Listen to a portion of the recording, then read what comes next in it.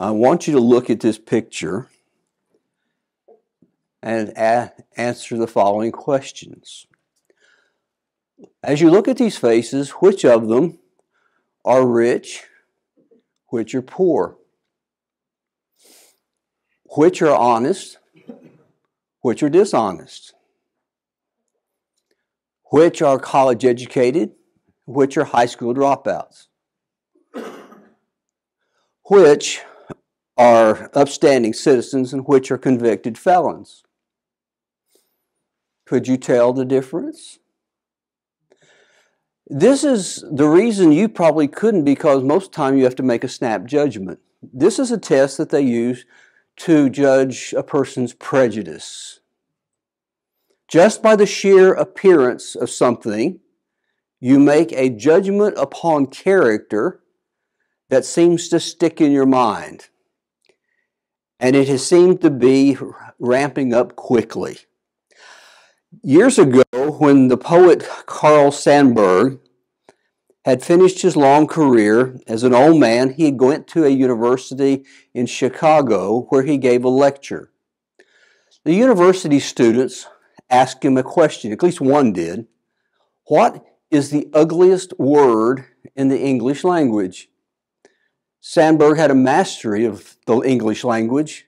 He could use his tongue as a brush and paint the picture with the words that he used. He stopped for a moment and thought, and in his usually gravelly voice, he said, The ugliest word, the ugliest word,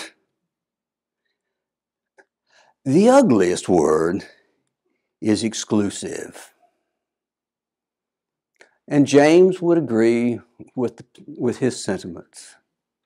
There is nothing so bad in the church as being exclusive, of deciding that some are worthy and some are not, that some are good and some are bad, based upon what you see on their outside. And so James wants to tackle a problem that we would love to think has long past gone, but it's not. It's still here. It's still here just as, all, all, uh, just as current as the cold weather came in this morning. It's the problem of prejudice, and it's the problem of prejudice in the church. James begins in James chapter 2 with the term, my brothers. He says, let's talk about this because we're family. And if how do families function? How do families feel about each other? How does a family treat each other? So, my brothers, let's talk about this. And then he says, Show no partiality as you hold faith in our Lord Jesus Christ. He really says, Stop doing this. That's the language he used. Stop showing partiality. Now, partiality is one of those words that we we kind of confuse. We do have some partial things. We're more partial to our friends than our just acquaintances. If you go out to eat, you may you'll ask certain people, but not others, not because you're excluding them, but because you didn't think about them. That's not partiality, at least according to James. He uses the term that means to, to lift up the face. It, it's like if someone were coming to a worship service and, and they were a celebrity. I, uh, several years ago, uh, we had a member here who had passed away, and at his funeral, he was a big supporter of Oklahoma State athletics. I mean, big supporter. And so in the audience was T. Boone Pickens. And everybody fawned over T. Boone Pickens. And it's almost like said, we have as our honored guest today, and they they raise their hand, and here I am. And that's partiality.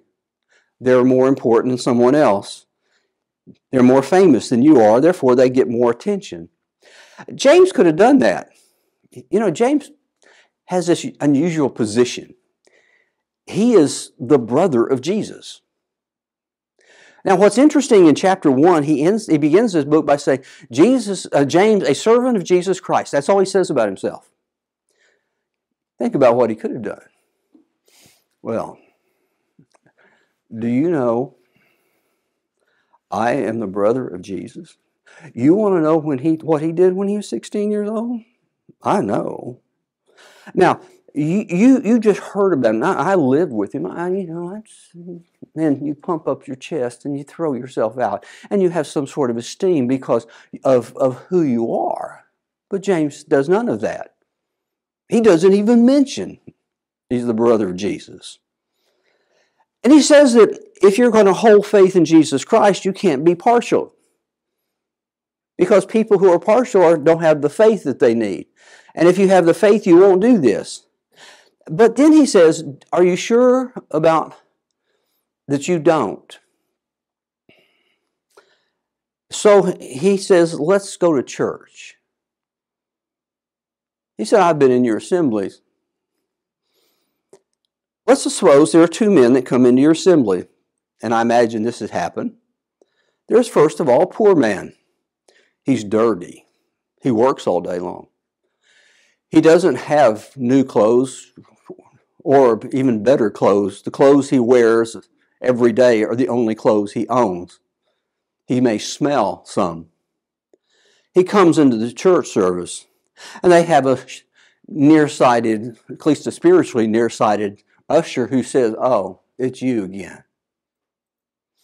Well, come here. You see right there? Why don't you sit right there?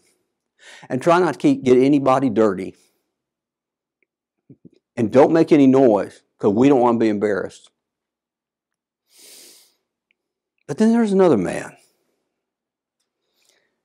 It says he is a he's wearing a gold ring. Actually, it doesn't say that. It says he's wearing a gold ring on every finger. He's a many ringed person. He's got a ring on every finger. He can afford the fineries life. He has the goodness of life. He is, he is the, the banker of town, or he is the accountant of town, or he's the mayor of town. And so when he comes in, he's got this nice white robe. It says fine clothing. It really means something that sparkles like the sun. He has slaves to keep his clothes clean. They wash it and they press it and they make sure it's as white as the sun. And he comes in and the usher says, Oh, we are so honored to have you with us. Here, here, come, come here, follow me. I'm going to give you a good seat. You come over here. You see this row, this seat here. This is this is the prime seat. This is the one that, that we use for our for our, our cherished guest, and we want you to have this seat. And it is so wonderful to have you in our service today.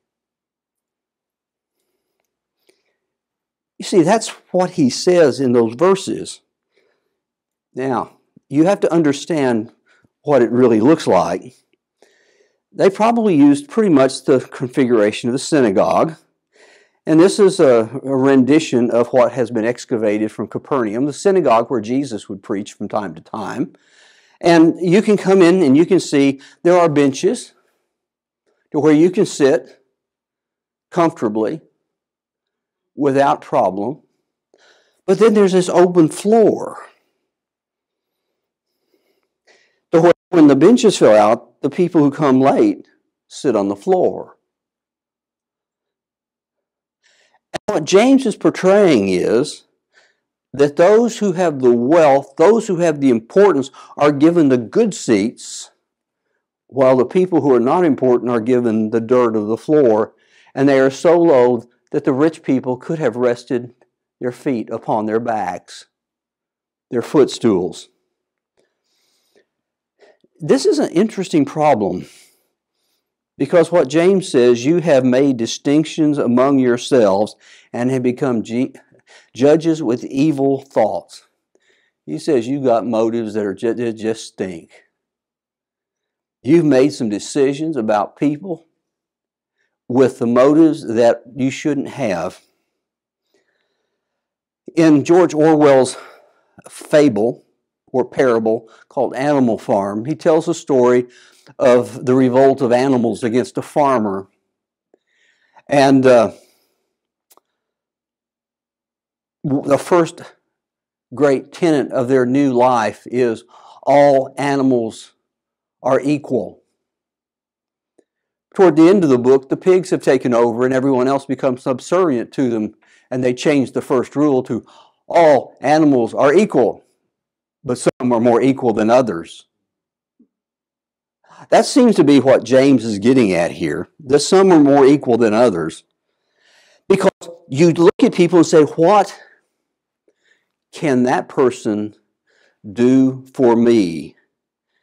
It is the ego of being important and the advantage that you can gain from them. It was a problem in the church. It's been a problem in the church forever. We've had made, made distinctions a long time. If you go back a hundred years and look at old sermons, you'll find that in the deep south, some of our pulpits had sermons that said people of color were not made in the image of God, but were animals. I sometimes wonder how you can open a Bible and come to that conclusion. The answer is because you are judges with evil thoughts. Your motives are all wrong. You're trying to elevate yourself above someone else. It was a problem in the first century church as well. Peter in Acts 10 goes to Cornelius' house. He has to be persuaded, and we're going to see that in a moment. But as he goes to Cornelius' house, he crosses that Gentile threshold. He preaches the gospel to him. He baptizes him into Christ. He eats at his table, and he goes back to Jerusalem, and is he in hot water? They have heard what Peter did, and oh, you don't do things like that in the church. Those filthy goyim, those filthy Gentiles over there, you ate with them, and you did what? You baptized them? They haven't jumped through the Jewish hoops yet. They haven't cleansed themselves. They're still dirty. So they call Paul on the car- Peter on the carpet, and their complaint is, "You ate. You went to circum- uncircumcised men and ate with them." Do you hear the distinction? Circumcised and uncircumcised, Jew and Gentile, worthy and unworthy. We are superior. We are God's chosen people. They're not. Why bother? And it looks like Peter would have learned this lesson. You know, usually when you get whipped by someone else, you've learned a lesson. Sometimes the only lesson you learn is don't put yourself in that position again. And that's what he learned. Because when you come to Galatians chapter 2, Peter goes to Antioch. Antioch is that great church that has opened the gospel to the Gentile world. the very first that seems to have a grasp on the fact that God's grace is for all, not just for some. And so he goes there and, and he's having a wonderful time. He's, he's eating with them, they fellowship together. But then there are those guys who come from Jerusalem again and he saw them and he could feel the sting of the criticism the first time.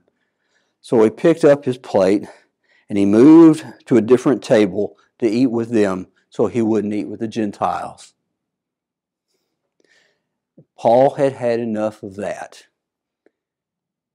He gives him a tongue lashing he would never forget. You have played the hypocrite.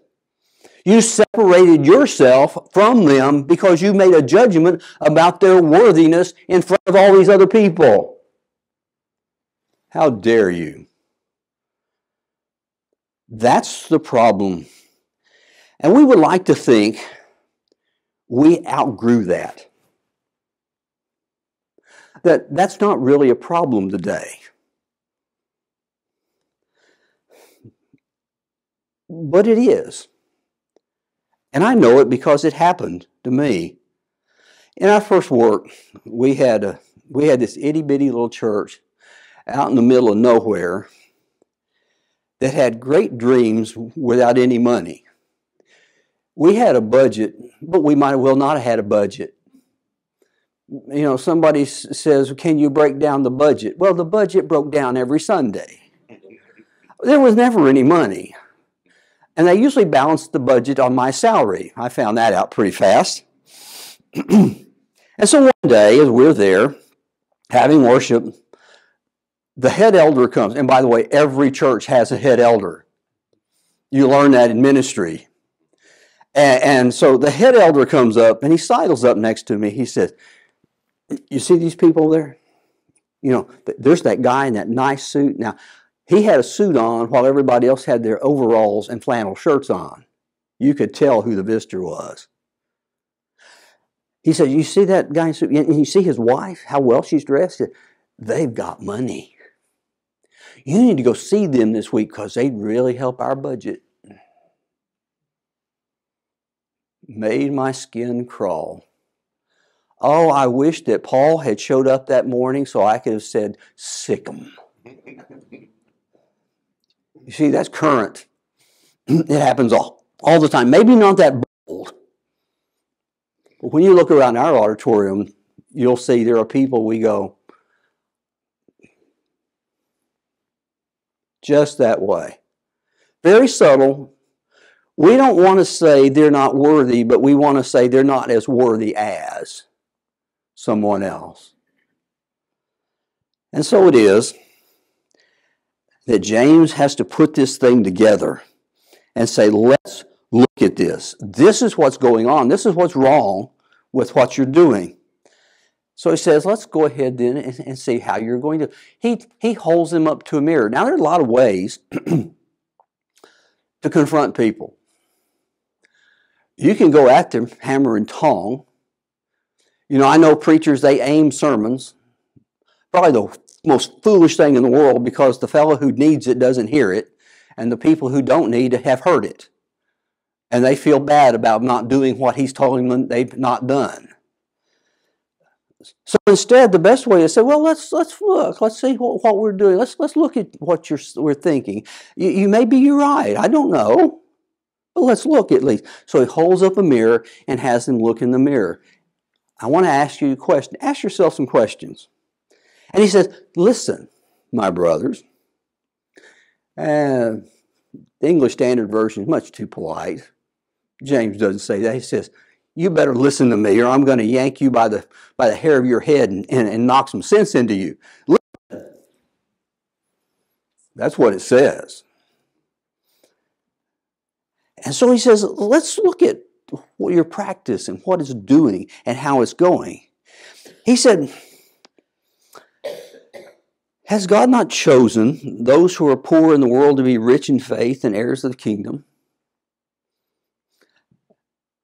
Now, don't mistake what James says. He doesn't say because you are rich, because you are poor, you are righteous. Nothing could be further than the truth. But the reality is that rich people have a harder time with faith. They are much more self reliant. They can buy what they want, take care of themselves. When Jesus looked at the back of the head of the rich young ruler as he left sorrowfully, he shook his head. He said, It is, it is hard for the, for a rich man to enter the kingdom of heaven. Because they say to themselves, We have many goods laid up for many years. It's harder to get the rich because they don't need the gospel as much as the poor who need it all the time. And so he says, Who exactly is the one that we're trying to reach? Who are the ones rich in faith? Is it the, is it the rich man or is it the poor man? God wants people who are rich in faith, not, not rich in, in wealth. So he says, so now tell me, when you see the poor man on the ground, what are you saying about his faith? But he goes on to ask another question. He says, Have you not dishonored him? And he says, I want you to think what's going on in your lives. He says, Are not the rich ones, the ones who oppress you and ones who drag you into court, are not the one who blaspheme the holy, honorable name to which you were called? He said, Joe, let me ask you a question. Last week, when someone drug you into the court and they took your house to make a parking lot out of it, was that a rich man or a poor man? Was he the one that was here last Sunday? Why do you think he's so special if he takes your house? Or he says, Susan, you know your brother. He got hauled before the magistrates last week. He was told he better say Caesar is Lord or he's going to be beaten. And he came home bloody. Now, who did that? Was it the rich man that we thought was so grand? What was he doing to you that it made that happen? What are you doing elevating these people who, are, who seem to be against you all the time? Doesn't that seem inconsistent that you would do that? Why do it? If they're hurting you, why do you say they are important or they're better? Do you really think that by giving them favorable treatment, you will change their opinion of you? The answer is self apparent. And he says, Are you keeping the royal law? He tells you what it is a law fit for the king, a law that comes down straight from the king's throne. The royal law you shall love your neighbor as yourself. The lawyers asked Jesus, What's the greatest commandment? And he said, I won't tell you one, I'll tell you two. Love the Lord your God with all your mind, heart, strength, and soul, and love your neighbor as yourself. That's the royal law. That's the one that comes straight from the throne of the king. That's the one that is the edict that you keep above all things. He said, Are you doing that? If you are, you're doing well. But is that what you're doing?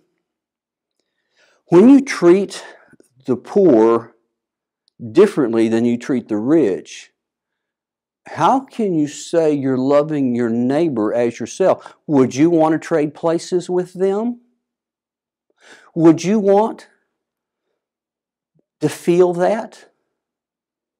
Would you want to be treated that way?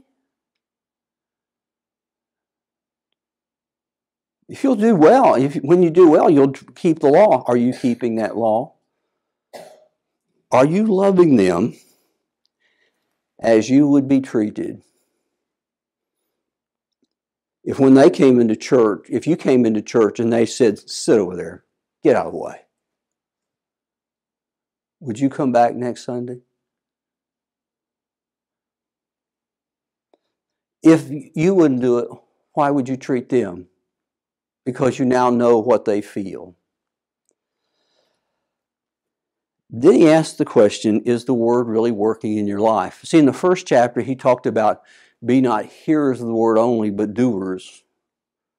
He says you look into, into the mirror and it informs you of how you're doing. He said, So is the word working in your life when you do this? Is that obeying God? Is that doing what God wants you to do? He says, What do you think God thinks about all this? He says if you show partiality, you are committing sin and are convicted by the laws of the transgressors. Oh, those are ugly, ugly words. You see, sometimes we sit back and we say, well, it's not really that bad. It doesn't ever say you shouldn't. And, and I think that's not as bad as it sounds. It's not in fact, we use comparisons and say, at least I didn't kill anybody. Well, bully for you. You did something just as wrong. You see, no matter what you get around, the explanation of God is partiality is still a three letter word called sin. It's still violating and getting off the path that He wants you to be on. He will not let you get away with some sort of a esoteric philosophical argument that said there are ways to justify this and baptize it and make it holy and say it's really okay because we're doing it for the right reasons. We're really trying to help the church. He says you're not going to help the church by doing what's wrong. So he says, Are you keeping the word? Because it all comes down to God, standards are yours. When we show partiality, we're using our standards how we feel about things. Are you using your standards or God's standards? God has a standard. It has nothing to do with what we see from somebody else. That was a lesson that Peter had to learn. You see, when he gets upbraided, it's because he learned a very valuable lesson back in Joppa he's there on that rooftop, rooftop and the Lord lets down, lets down this sheet, and in it are armadillos, and eels and a hog and a couple buzzards. And God says, Take a big, juicy bite. No, Lord, I haven't ever eaten anything that's unclean. And God says, What I have made clean, you don't call unclean. You don't have the right to determine what's clean and unclean because I'll tell you what it is. Three times it took Peter to get that lesson. It always takes Peter three times to learn lessons. I don't know if you've thought about that. He's hard headed and slow. and so there is, he says, this is, God doesn't see things as man sees them, which is what Samuel learned. Samuel, he was disappointed with Saul. Saul looked like such a good prospect. And he looked the king, he acted the part of the king, except he had the spiritual deficiency of not wanting to obey God and wanting to do his own thing.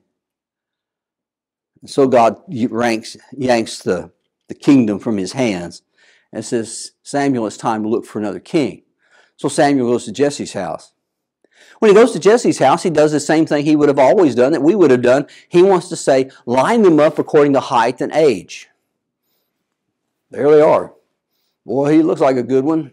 God says, not, not him. Well, okay, but he's, he's, he's pretty good too. No, not him. And he goes through all these kids, and God says, Are you kidding me? I didn't send you to any of those people. They're not going to be the king. And Samuel's run out of boys. Do you have anybody else? Are they hidden in a closet somewhere? Do you keep them away from people so they won't see them? Well, I got this son, but and Jesse said, I got this son, but he, he, he's out with sheep. You know, he don't want him. He's just a ruddy little run of a kid. And he's not to, he's not a king. Well, God says, I need to see him. So he brings him in, and God's whispering in his ear, The Lord, do not look on his appearance or the height of his stature, because I've rejected them.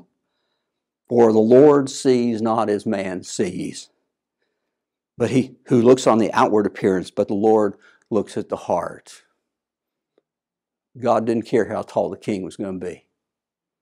He only cared about how deep his spirit was.